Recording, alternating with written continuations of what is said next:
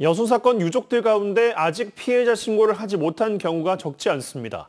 접수가 재개된다 해도 기초 조사를 담당하는 인력이 부족해 피해자 인정 작업이 늦어지지 않을지 우려가 커지고 있습니다. 문영철 기자입니다.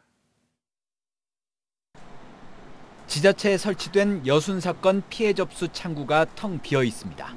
신고 기한이 제때 연장되지 않아 지난달 말부터 운영을 중단했기 때문입니다.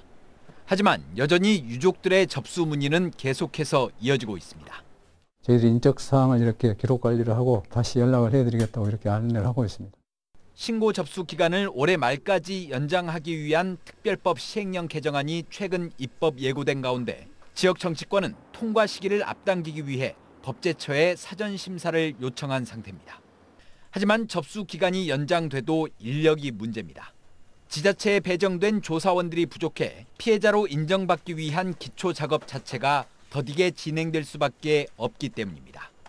전라남도 실무위원회에 올릴 자료를 만드는데 신고자 1명당 평균 4일에서 5일 정도가 필요한데 여수의 경우 사실 조사원이 7명에 불과해 지금까지 접수된 2천여 건 가운데 조사가 끝난 것은 100여 건에 그치고 있습니다.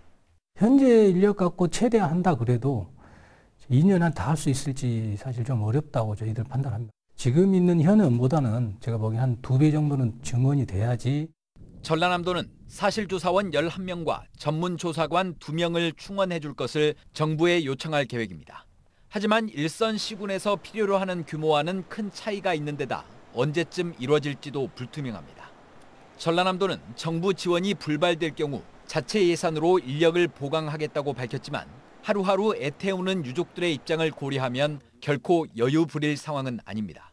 이분들이 언제 돌아가실지 아플지 모르기 때문에 유족들 입장에서는 빨리 해달라 이렇게 지금 굉장히 독촉을 하고 있거든요. 정부 지원만 절대 바라고 있어서도 안 되고 우리 지역의 예산으로라도 지 속적으로 해나가야 된다. 유족회와 시민단체를 중심으로 직권조사에 대한 요구도 갈수록 거세져 신속한 인력 충원의 필요성은 더욱 커지고 있습니다. MBC 뉴스 문형철입니다.